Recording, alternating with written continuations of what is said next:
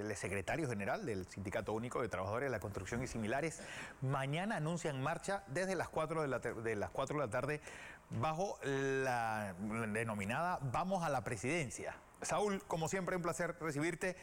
Mañana, ¿qué se está reivindicando en esta marcha? Y si ese acuerdo con transportistas y esa, ese plan que ha anunciado por el gobierno en Colón no es suficiente para Suntrack. Buenos días. Buenos días, Fernando. Gracias por la oportunidad. Un saludo a todos los que contigo laboran, a quienes nos van a escuchar y a ver eh, por radio, televisión y las redes sociales. Nótese que la grave situación que vive la mayoría del pueblo panameño en realidad no es nueva. Tenemos una acumulación de una alta deuda social con la mayoría del pueblo panameño y los estragos que ha generado la política económica neoliberal en los últimos 32 años eh, de pseudo-democracia ha agravado esta situación y nos tiene en las condiciones en que nos encontramos.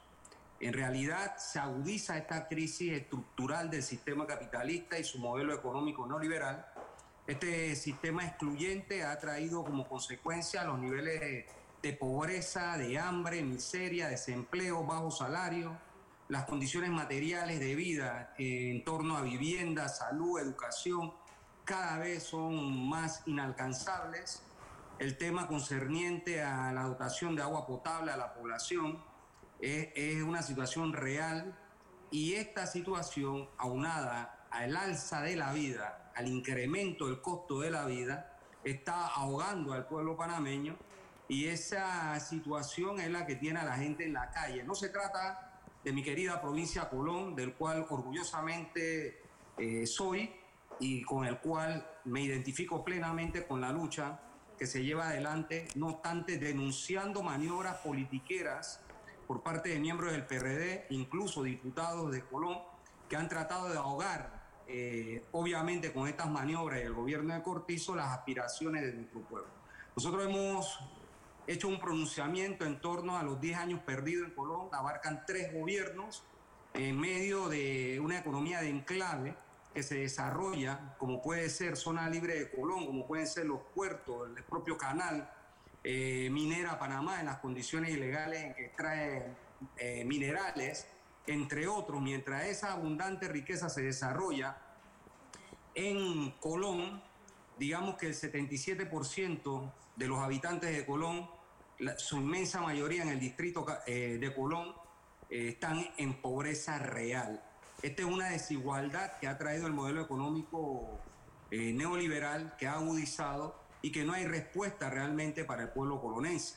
Y en ese sentido, esa marginalidad de la que el pueblo se queja hoy, obviamente tiene que ser superada. Nosotros consideramos que es necesario realmente que Zona Libre pague el 15% del impuesto exonerado por Pérez Valladares en su gobierno, eh, que era una forma de recaudar recursos para eh, invertir en Colón, naturalmente con esa política aberrante de haber eliminado este impuesto que es como en realidad se sostiene cada vez la mayor desigualdad que vive el país, porque aquí se habla de subsidios para los pobres, pero no se habla de la transferencia multimillonaria que se hacen a los ricos con la exoneración de pagos de impuestos. Esto representaría hoy día aproximadamente unos 225 millones directos que deberían entrar a Colón para resolver problemas de los colonenses.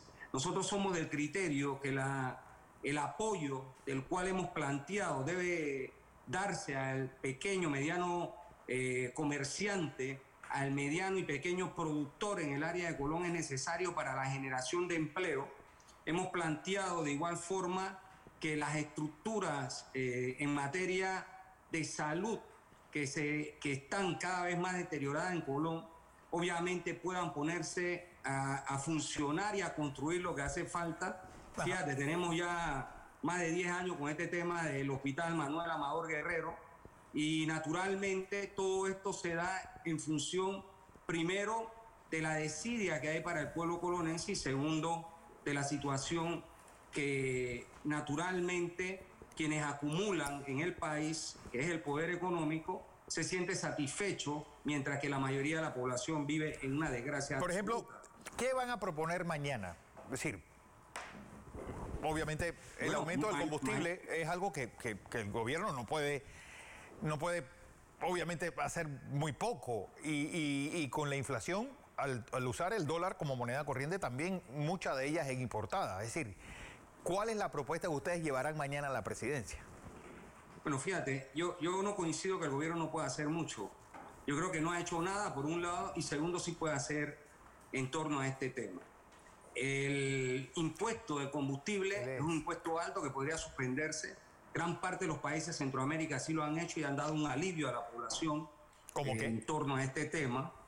Eh, y naturalmente esa es una de las demandas que estamos planteando, porque como tú indicabas en la pregunta anterior, es decir, se ha dado un paliativo a los transportistas que obviamente lo necesitan, pero no solo lo necesitan los transportistas, lo necesita todo el que consume combustible y el gobierno tiene que ampliar esa situación.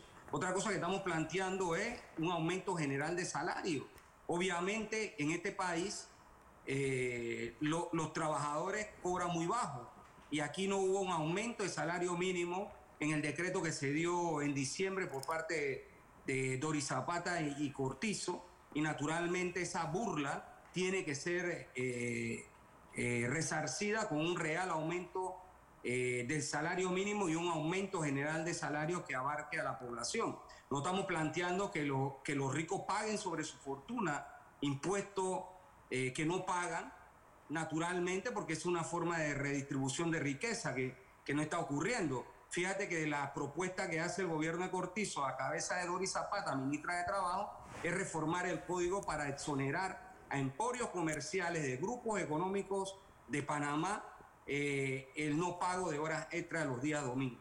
Es decir, que toda la crisis está cargada sobre la población. Esto es obviamente inaceptable y va a enfrentarse ese problema porque no puede pretenderse que la crisis sea cargada solo a la espalda del pueblo panameño, mientras que las fortunas son intocables en Panamá.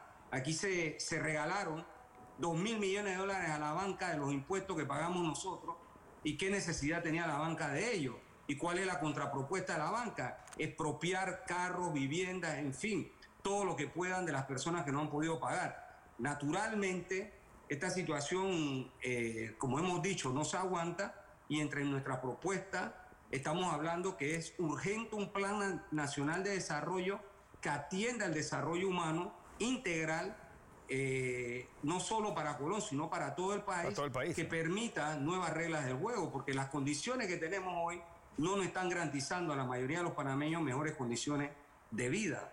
Sí. Bueno, mañana entonces, 4 de la tarde, Plaza Porras, ahí se va a marchar hasta la presidencia de la República, bueno, hasta la Plaza de la Independencia, la Plaza de Catedral, y ya hay alguien del gobierno que les haya dicho quién les recibirá. En realidad no hay ningún contacto con el gobierno en estos momentos, ni han anunciado quién va, quién va a recibir. Yo creo que lo más importante aquí no es menos que exigir respuesta, porque en verdad hay una serie de situaciones. Nosotros como CONUSI presentamos un proyecto de ley a la Asamblea en el que exactamente planteamos la necesidad de rebajar eh, los precios, congelarlos, de los artículos de primera necesidad y de los servicios, un aumento general de, de salario, esa oficina que no sirve de nada a Codeco cerrar eso y empezar a tener regulaciones que permitan aliviar la situación del pueblo y al final nadie escucha. Entonces, aquí por la fuerza el pueblo tendrá que organizarse, concientizarse y luchar para obligar a quienes gobiernan a que den respuesta, porque la situación es realmente agobiante para la mayoría de la población.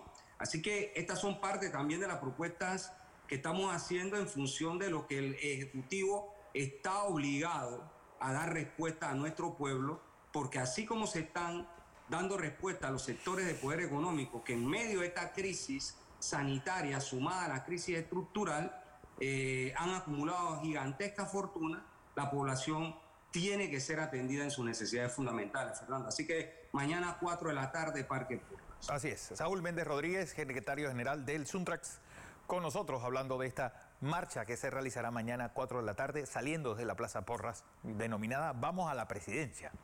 Voy a información comercial.